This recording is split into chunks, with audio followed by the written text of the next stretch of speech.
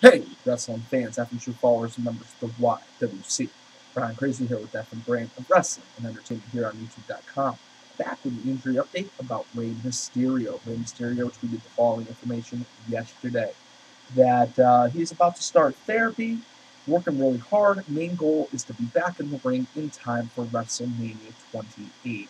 So, unfortunately, for all the Mysterio fans out there, it looks like we're not going to see Rey able to perform at least you know into the few weeks leading up into WrestleMania 28. So we're talking March, April return date.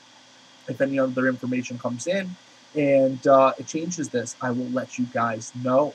Thanks for checking out this video. Please comment below for the FM brand of wrestling and entertainment. Brian Crazy, as always, and I'll catch you later.